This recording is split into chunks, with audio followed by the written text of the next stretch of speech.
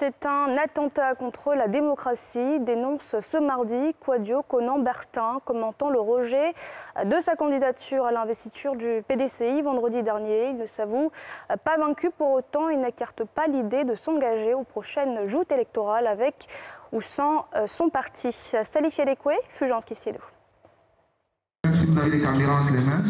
24 heures après avoir reçu par voie du ciel la décision du comité de candidature de son parti, le PDCI-RDA, qui rejette son dossier à l'investiture pour la présidentielle de 2020, l'accusant d'avoir fourni de fausses pièces et de fausses informations, Quadio Conambertin dit Kakabé dénonce ce mardi un attentat contre la démocratie. Alors même qu'il y a deux candidats en compétition, tous les membres du comité électoral ont été nommés par l'un des candidats. Il aurait fallu, pour assurer la neutralité, qu'il soit paritaire.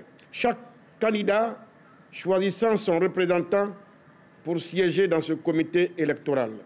La décision prise par ce comité aux ordres est un attentat contre la démocratie. Elle est l'œuvre d'un escadron servile uniquement motivé par la préservation de ses propres intérêts. C'est un mauvais coup porté à l'image du PDCI-RDA et à la confiance de nos militants. Toutefois, l'ancien président de la jeunesse du PDCI n'entend point exercer un recours judiciaire. Et quant à l'idée d'une candidature indépendante, comme en 2015, sans son parti politique, voici sa réponse. Ma décision a été longuement mûrie. Elle a été longuement mûrie et que mon projet présidentiel est à maturité. Si le PDCI-RDA me refuse la parole en son sein, nous prendrons rendez-vous avec le peuple. Le moment venu. Mais pour l'instant, ce n'est pas à l'ordre du jour. Henri Conan Bédier, le président du parti, par ailleurs ancien président ivoirien, a été déclaré éligible par ce comité électoral.